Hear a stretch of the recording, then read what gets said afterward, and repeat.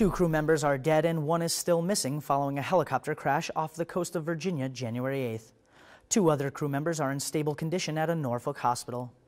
Members of the Navy and Coast Guard are continuing search efforts for the fifth sailor.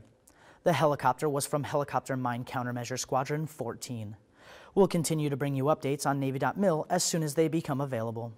Our thoughts and prayers are with the family and friends of those sailors who lost their lives. Tax season is around the corner, and it's never too early to get ready. W 2s are expected to be released on MyPay for active duty sailors January 24th. W 2s were released for reserve sailors January 8th. View the full 2013 tax statement chart on the Defense Finance and Accounting Services website. Read more about these stories at Navy.mil. From All Hands Update, thanks for watching.